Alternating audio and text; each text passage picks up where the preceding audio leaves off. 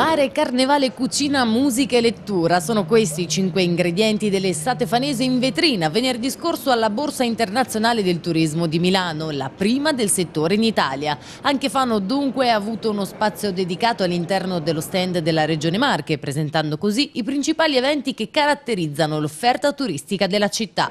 Alla BIT erano presenti il vicepresidente del Consiglio regionale Minardi, il sindaco di Fano Seri, il presidente della Carnevalesca Cecchini, l'assessore direttore fanese al turismo e cultura Stefano Marchegiani, il direttore artistico del Fano Jazz Pedini e Borgiani della Confesercenti. Per la prima volta dopo tantissimi anni Fano rioccupa uno spazio dedicato nel padiglione Marche, cosa che negli anni precedenti non avveniva, è una, uno spazio importante perché eh, al di là delle presenze alla conferenza stampa ma poi è materiale che viene promosso e distribuito nella rete, nei canali di informazione della regione e soprattutto della, della fiera. Minardi poi ha sottolineato l'importanza degli eventi presentati che per le loro caratteristiche sono unici nella regione. Il Festival Jazz che richiama appassionati e amanti di questa musica da ogni parte del mondo. Il Festival Nazionale della Saggistica Passaggi cui partecipano ospiti di altissimo spessore. Il Festival Internazionale del Brodetto che porta a Fano in un periodo di bassa stagione una grande quantità di visitatori ampliando così l'offerta turistica della città e il carnevale che si svolge sia nel periodo invernale che durante la stagione estiva. Sono eventi che arricchiscono Fano per l'offerta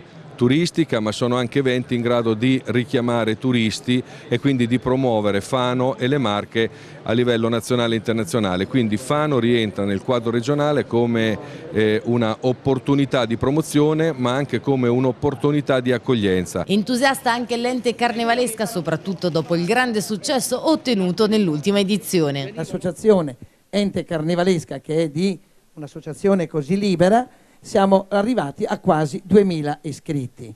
Quindi questo ci fa molto piacere e riserviamo a tutti voi delle grandi sorprese per la grande edizione del 2017 che ci proietterà ancora più in alto.